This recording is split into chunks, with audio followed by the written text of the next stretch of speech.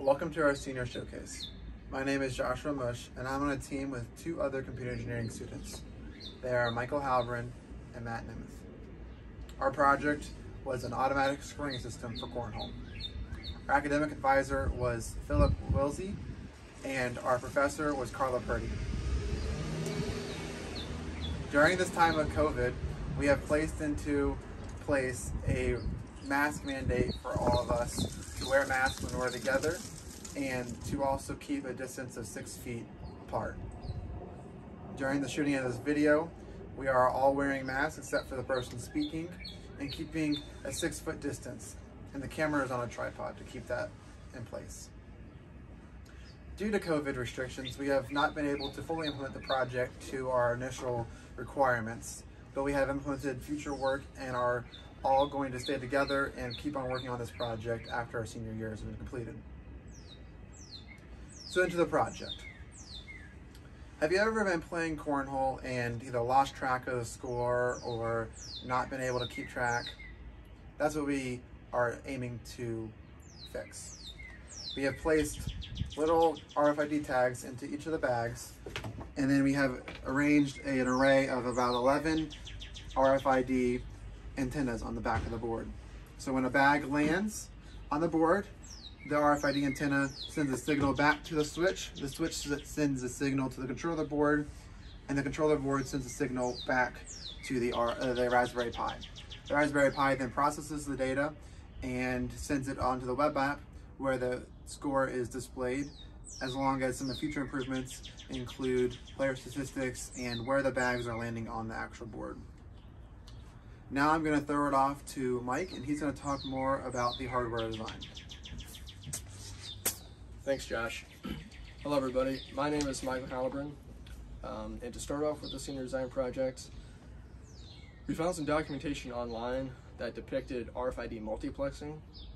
Um, we decided to reach out and contact the engineer from Texas Instruments behind it, uh, Mr. Joshua Wyatt.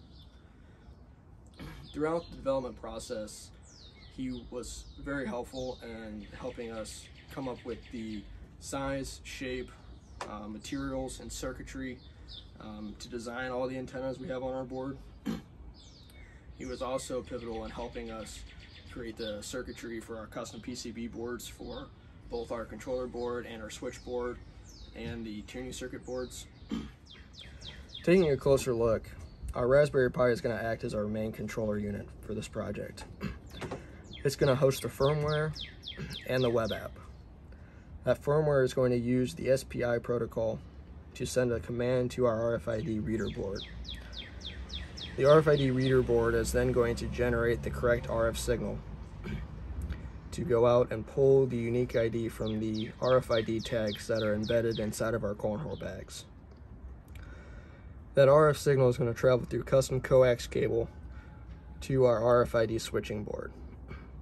We also utilize the GPIO on the Raspberry Pi to control the select pins of the switches on our RFID switching board.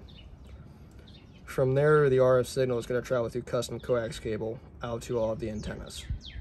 Zooming out, we can see all the 11 antennas that the switching board uh, is in charge of. What our firmware will do is loop through all 11 antennas Meanwhile, our, our reader board is looking for any tags that may or may not be there. After our firmware loops through all 11 antennas, we'll send all the information and data back to our web app. To talk more about our web app and the other software we have behind our project, I'm going to go ahead and throw it over to Matt. Hey, thanks, Mike. Hi, so my name is Matt Nemeth. Let's go take a closer look at the software side of things for this project. Alright, so quickly jumping into the software side of things for this project. So for the automatic scoring system for Cornhole, we are currently running a Ruby on Rails web app with a MySQL database.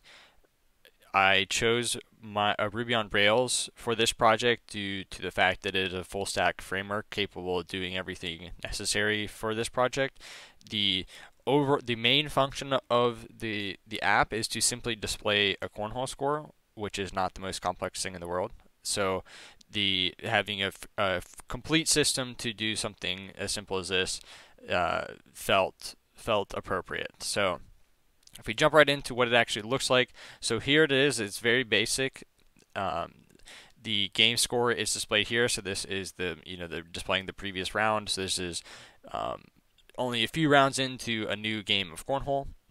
So if there's this, so you can see the previous round scores displayed here. So if there's ever an issue with these previous rounds, if you see the score was not recorded correctly, what you can do is you can follow these links and update the score so that it is correct, um, and the game will continue from there. So we can go ahead and start a new game. So are you sure? Okay, and then that will go ahead and reset the score and start a completely new game of cornhole. As I mentioned, we are we ran into some quite a few issues when developing the firmware of this project. So we focus of the app development was diverted to focus on debugging the firmware issues um, that we are currently still battling. So as of right now, in order to add new scores to test the app, we are doing this so manually instead of via web requests. Eventually, when it is on the internet, we will send these web requests to update the score, but currently we are only doing so manually. So that's the software side of things for this project. Thanks for listening. If you guys have any questions, feel free to reach out and ask us. Um, but thanks again for listening.